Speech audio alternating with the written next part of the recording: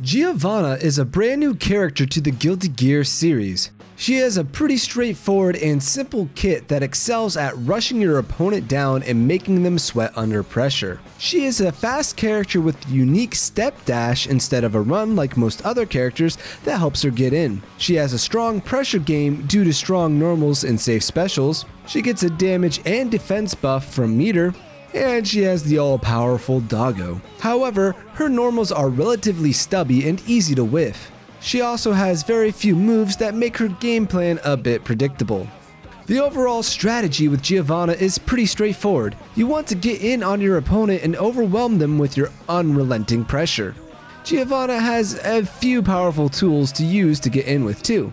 First is her dash step. This can be used to quickly close the gaps between you and your opponent. Use faultless defense with it often to vary up the distance you cover and to block incoming attacks from your opponents to keep you safe. The step dash also extends the range of your normally short normals with its forward momentum. You can very easily catch your opponent by surprise by covering so much ground in such a short period of time. Her special move Trovão is another great tool to get in on your opponent. It's safe on block and goes through projectiles. On counter hit, it can lead into combos, but use it carefully since many other moves will beat it out, especially air moves. Her 5S and 2S are great moves to lock down your opponent.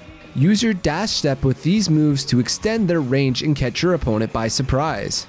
Giovanna's normals and specials are very easy to delay when chaining them together, especially on the multi-hit normals such as 5S and 2S. You want to learn to switch up the timing in which you use these moves to catch your opponent pressing buttons. This is called a frame trap. An easy way to do this is to chain your 2K and 2D together. When approaching from the air, your jump K is a fantastic tool. It comes out fast and can be used to cross up your opponent. It can even be cancelled into Sol Poente for combo opportunities. Giovanna gains a damage and defense buff based on how much tension she has. At 50% tension, she gains a 5% damage buff along with a sizable defense buff. At full tension, she begins glowing green, or whatever color you have selected, and gains a 10% damage buff on top of having a defense rating as high as Potemkin. Overall, take advantage of your speed and pressure game with Giovanna. Rush down your opponents and make them uncomfortable under pressure. Here's a few combos you can use with Giovanna.